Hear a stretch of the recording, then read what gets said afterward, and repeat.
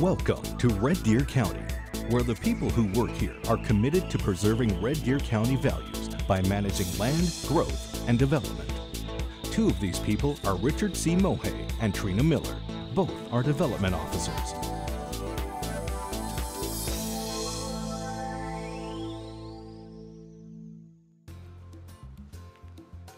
We actually process development permit applications as it comes in for residents or businesses or home businesses.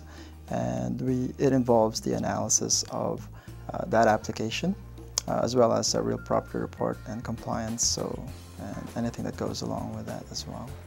Well, I work closely with developers and um, working on commercial industrial applications. Uh, a lot of the applications going on right now are in Gasoline Alley area, Burnt Lake area, and what I do is I, once the application comes in, I'll review the application and take a look at whether or not it's permitted or discretionary.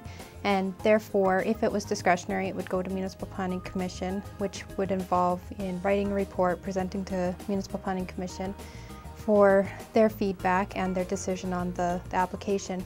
Now, for permitted use applications, I would actually review it based on our land use bylaw and um, for all applications, I would also conduct a site inspection.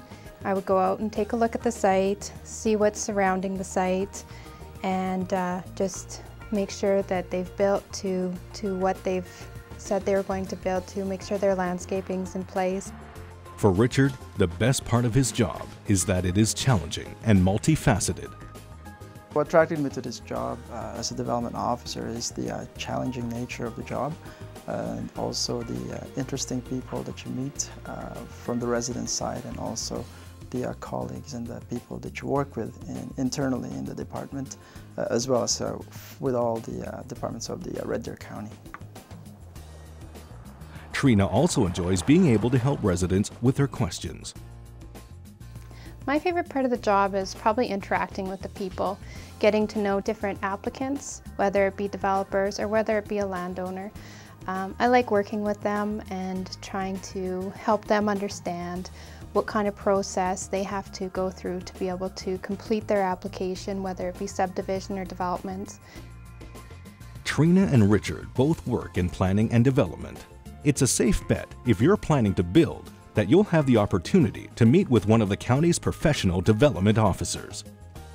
I love living here because uh, in the city of Red Deer you have the urban side of things and with the Red Deer County it's actually just a few minutes drive away to actually experience the uh, rural setting and, uh, and the things that they offer.